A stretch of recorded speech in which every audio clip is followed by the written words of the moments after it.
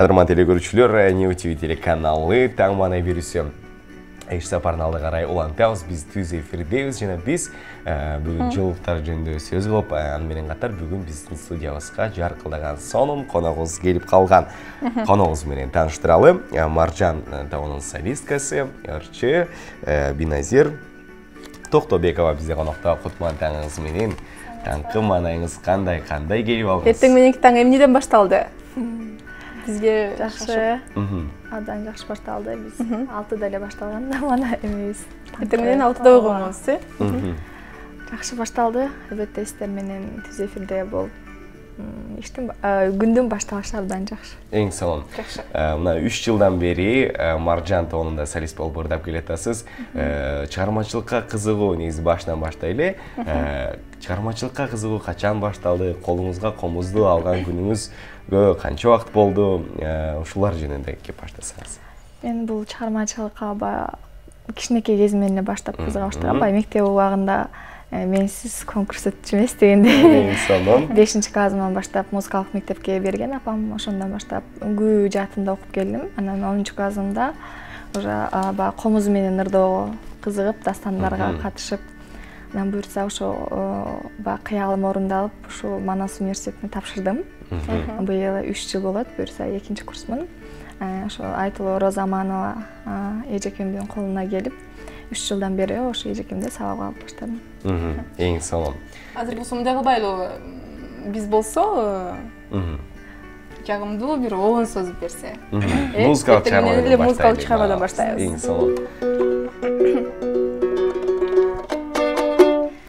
анда мен сиздерге ошо устатым аткарып жүргөн жаштык ыры деген ырдап эң сонун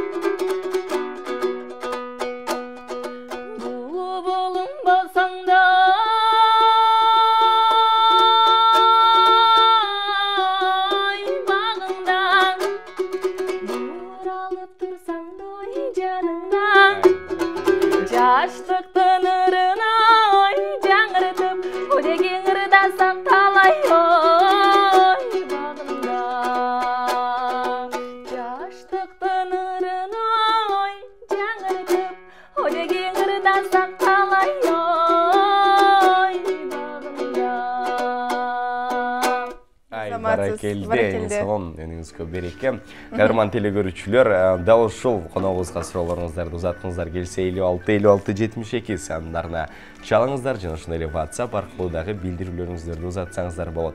Жети жүз эки алтымыш сексен үч он бир сандарынан суроолорду күтүп калабыз. Ооба.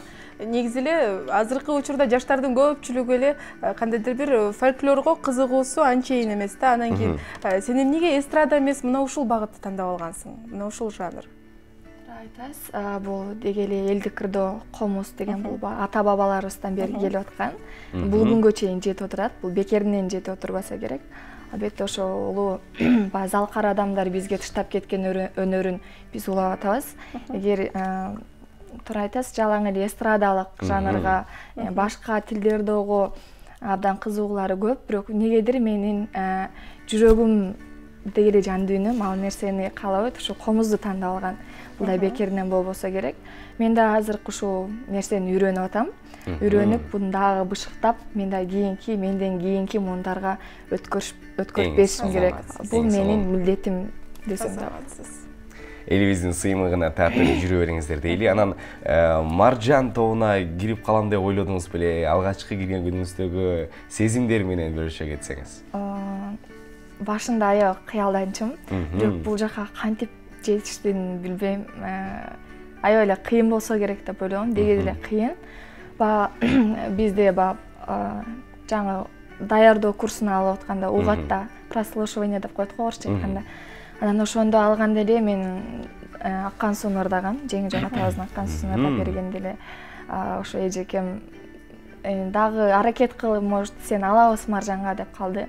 Ошентип эже ошентип карап карап жүрүп алдым алындым. Биринчи жылы биздин курстан ошо мен өттүм эмеге маржан тобуна өтүп азыр да эң кичинекеймин ал группанын ооба кенжесиз э биз билгенден ооба эң кичинекейи ошентип баягы эжелердин жардамы менен улам тиги эжеге барып сурайм бул эже бул кандай болот деп ушинтип жүрүп акыры маржанга өтүп быйыл буюрса ошо декабрь айында үч жыл болот. Жакшы. эң сонун эң сонун негизи эле баягы маржандын кыздары деп дагы аябай эл оозуна алынып баардык кыздары өз өзүнчө да ырдап жүрүшөт мисалы азыр белгилүү болуп э. Сиздин кыялыңызда дагы ушундай максат кыялдар барбы өзүңүзчө мынакей маржан тобунан кийин мисалы чыгып шакирттерди таптап устаттарыңыздан алган билимдерди тажрыйбаларды улантып өзүңүз да жогоруда айтып өттүңүз максат кыял тилектер менен бөлүшө кетсеңиз албетте бар бул ар бир адамдын эле кыялы болуш керек шакирт таптап окуучум деп айткан биринчи мен өзүм жакшылап үйрөнүшүм керек. Андай деңгээлге жетиш үчүн аябай мыкты чебер болушум керек. Бул комузду уктап турганда эле чебитип кое тургандай албетте бар буюрса дагы баары алдыда деп ойлойм. Дагы өзүм да жакшы жакшы үйрөнүп алып анан ал нерсе орундалат жакшы маржан тобу мынакей кароо сынактарга дагы катышып келет да анан кийин акыркы багындырган ийгиликтерге токтойт окшойбуз азыр э атпайбыз жакында эле ушу биринчи октябрда болуп өткөн алматы шаарында болуп өттү элдик ырдоо боюнча жалаң элдик ырларды ырдоо боюнча конкурс болуп өттү биздин ушу улжан жумабекова деген эжекебиз таанысаңыздар керек. Маржан тобунда экөөбүз барып келдик барып жакшы болду. Жез таңдай акын ой жез таңдай ырчы деген номинацияны алып келдик. Эң сонун куттуктайлы убакытты пайдаланып рахмат ал жакта биз түрк тилдүү элдер катышты. Турциядан да келишти өзбекстан уйгур казакстандын бүткүл шаарынан келип катышты. Ал жакта ар кандай тармактар болду? Гү ыр аспапта ойношуу өз ар бир мамлекет өз тилинде э? Албетте. Ар бир мамлекет өз тилинде ырдады биз кыргызстандан үч үчөөбүз бардык. Бир элзара өскөнбаева эжекебиздин окуучусу алия акылбекова деген эжекебиз да барып. Үчөөбүз барып буюрса ийгиликтерге жетиш келдик эң сонун куттуктайлы дагы да болсо азыр болсо бизде телекөрүүчүбүз бар экен түз байланышта кабыл алалы саламатсызбы алло саламатсыздарбы кутман менен атым зарима бул силерге келген кыз аябай жакшы ырдайт экен мага аябай жакты үйгө береке айланайын дайыма ушинтип ырдап жүрө бер дагы көп ийгиликтерге жет анан өзү каяктан экен ошолорун сурайын дедим эле кайсыл жерден өскөн бир туугандары ата энеси каяктан мен бирөөгө окшоштуруп жаткандай болуп атам. Эң сонун куда түшсөк болобу деп эле баштайбыз эң сонун чоң рахмат мен токтогул жергесинен болом жалал абад областына караштуу токтогул районунун кара тектер айылында туулгам ошол жакта окуп ошол жакта чоңойгом бала чагам ошол жактан өткөн үй бүлөдө төрт бир тууганмын эң кичинекеймин эки бала эки кызбыз ошо.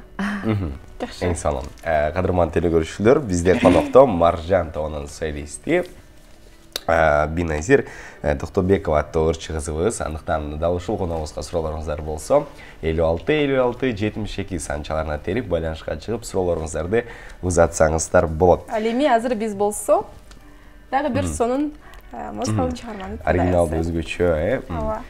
Биназир сиз башка тилдерде дагы ырдайсызбы? Башка тилде ырдайм.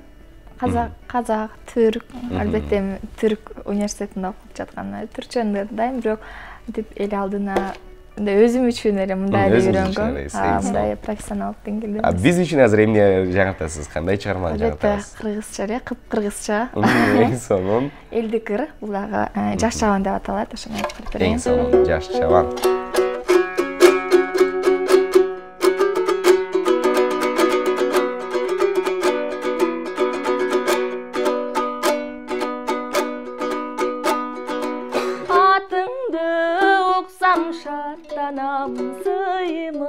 сыймыктанам мактанам саламат эсен жүрсүңбү да садагам жаныма жаш чабан садагам эсен жүрсүңбү да садагам жаныма жаш чабан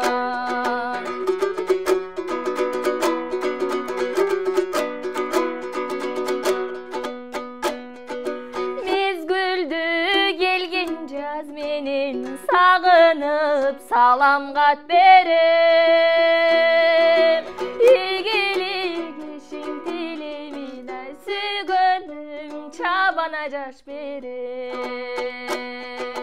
İgilik işin dilimine Sügönüm çabana caş berem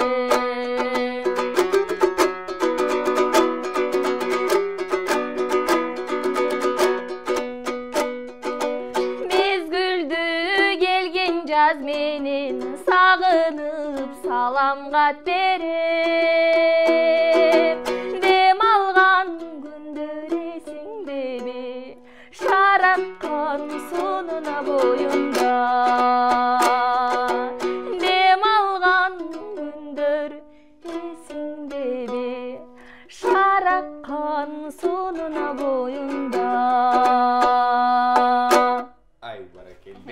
сонун ыраазычылык билдирели чыгармачылыктан тышкары дагы эмнелер менен алектенесиз эмнелерге кызыгасыз чыгармачылыктан тышкары мен көбүнчө ошо телевидение тарапка Э, мен азыр э, былтырлары буюрса азыр убакыт жок болгондуктан санат телевидениясында телевидениясында иштеп келдим ал жактан э, ар кандай тармакта буроп баардык нерсени үйрөнгөнгө аябай кызыгам негизи баягы монтажды кантип кылат бул кантип эле ушинтип чыгып калат Э, деги эле бул э, журналисттер бир кабарды берип атканда да деги эле буну жөн эле алып чыгып калбайт да.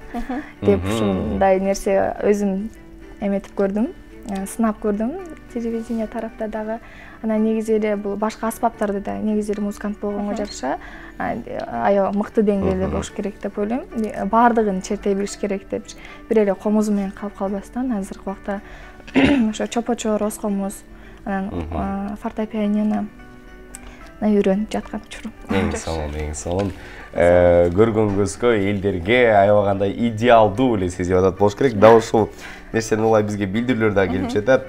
Э, саламатсызбы кутман таң сөз жок баракелде жигитиңиз барбы деген экен аябай актуалдуу келген суроолордун ичинен эң эле актуалдуу суроо ушул болду жок азыркы убакта деги эле жок жигитим Э, азыр ал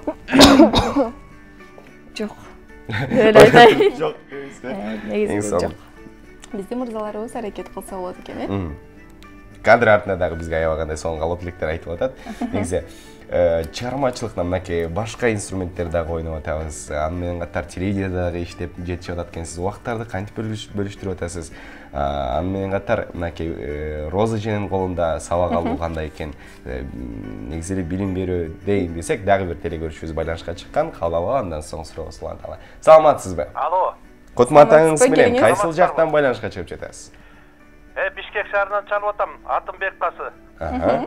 Ана могу келген карындашым жаркылдаган жакшы кыз экен, үнү да жакшы экен. Токтогулда таланттар деген көп чыккан. Ана Токтогулдун суусунда, абасында, тоосунда, э, жайлоосунда бар керемет. ай Ошо баракелде улуулардын кереметинен жуккан экен. Өңү да жаркылдаган, таң көрүп бойдок болсо келин бала кылып алчу жан экен. ай баракелде Анан эми бир бир куплет өзүм чыгармачылык иш элем арнап коеюнчу, мүмкүнчүлүк берсеңер, э? аха мүмкүнчүлүк берели келиңиз жаркылдаган жакшы кыздын бирисиң ата энеңдин алпеш деген гүлүсүң океандай оргучтасын талантың.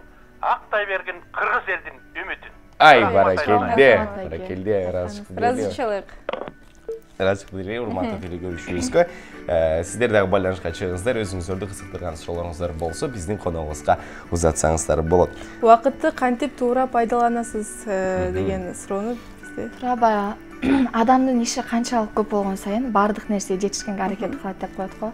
Сабакка дагы жумушка дагы э, деги эле үй иштерине дагы андан башка дагы иштериң чыгып калат дегендей тойго болуп калат дегендей. Баарына жетишкенге аракет кылам. Негизи баягы биздин расписание окуу эмебиз бөлүнгөн саат мынчадан мынчага чейин деп. Ошол убакыттын бош убактыларына кетирем бош убакыттын ар бирине регламент сыяктуу эле коюп койгом. И андан тышкары бизде көбүнчө практика жүзүндө э, сабагыбызда окуй бербейт. Бизде жалаң аткаруугу А репетицияда болуп калат. Ка- бизде эс алуу күнү дагы жок негизи эле. Анан э, өзүм дагы башынан ушул нерсеге көнгөнбү баягы рози эже айткандай ал өзү жөн бир минут азыр мындай э? текке кетирбейт да. Анан ошо адамдын эмеси жугуп атат буюрса жакшы анан бизде мындай жада калса обед учурунда түшкү тамак учурунда жаныбызга салып алып жок дегенде ушуну окуп атып жейли деп ушундай да бизде. Анан баарына жетишкенге аракет кылам. Кээде жетишпей калган учурум да болот. Бирок анын баарын кайда кийинки күнгө э, тогуштуруп аткарганга аракет кылам. Эң сонун Э, бизде болсо билдирүү бар. Салам таң маанай конок кыз жакшы ырдайт экен. Э, торгоюм деген ырдап берүүсүн суранат элек даулет адилет деген экен.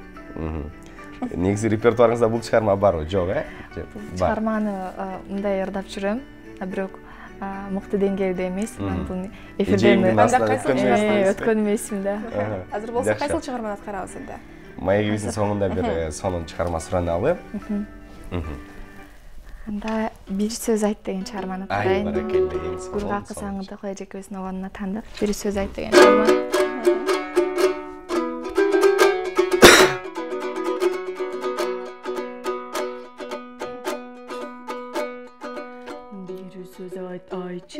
saçım Asmandan cam kıracasın Cam kırdan caşarganday Can düğünüm cadırasın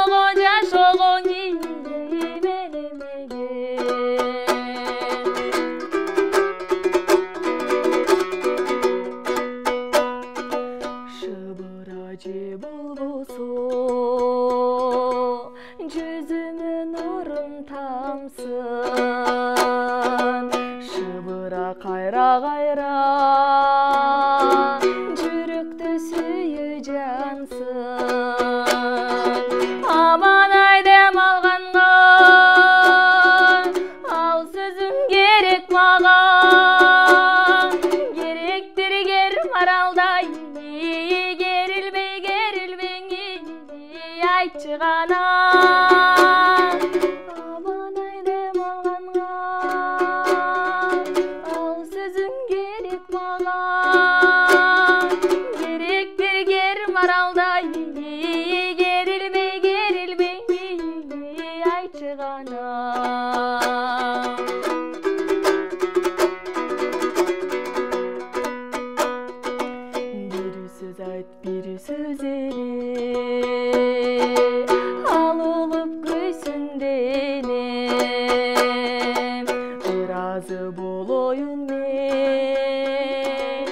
Мен жашоого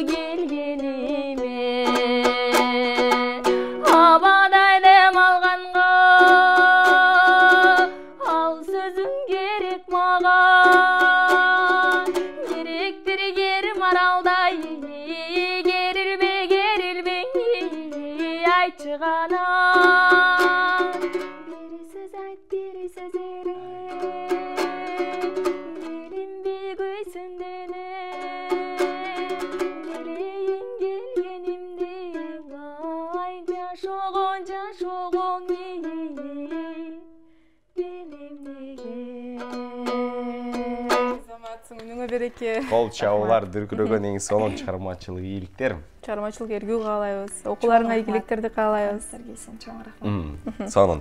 Кадырман телекөрүүчүлөр биз дагы маегибиз ушуну менен жыйынтыктайлы.